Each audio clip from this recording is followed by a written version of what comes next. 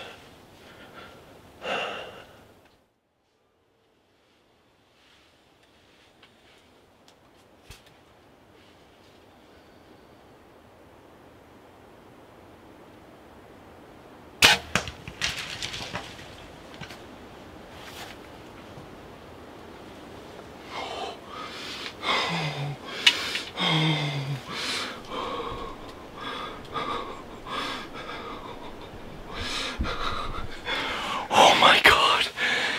That was so sick. Oh. I've been wanting to do that for so long. I haven't shot a whitetail buck with my bow since I was 13 years old. This year, that was the goal to go out and shoot a mature whitetail buck with my bow. That thing's a dandy. I'm not sure what it scores. Seen a few trail cam pictures of him, but he came in. It's only my second time sitting, and I just oh, 10 ringed him. Like I couldn't have hit him any better. Oh, that was so sick. My gosh. Oh, I'm just vibrating right now. Oh. Got him with my Bowtech. Oh wow. No, there's nothing like that. Pretty excited. That's it's been a long time coming. I've been running baits for a long time, wanting to shoot a nice whitetail with my bow, and yeah, it's been a lot of work. Glad one finally, finally fit the script and did what it was supposed to do because that was that was pretty darn exciting that's for sure. Here get a quick peek at what we got going on here. Just the most beautiful night in southern Saskatchewan just sun's coming up on the hills.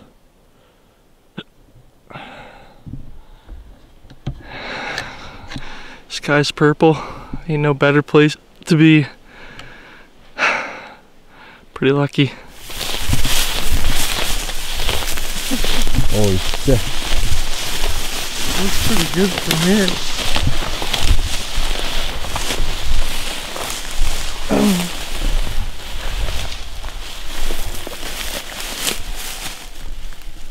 Things.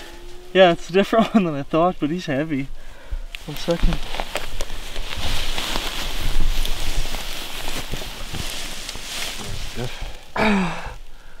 Those are some big brows, eh?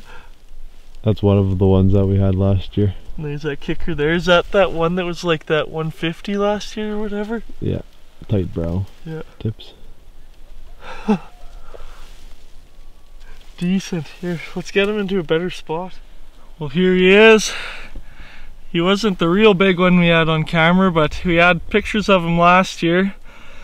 We figured he was about a five and a half year old last year, so we are passing him up. This was gonna be the year next year, but when I seen those brows coming in and yeah, there was no no passing that guy up. I'm pretty darn proud of him.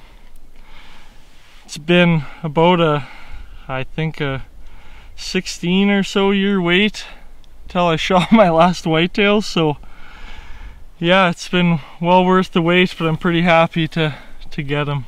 It's pretty special. A lot of work goes into putting these baits out and it's it's nice to see that it finally works out every once in a while. right on.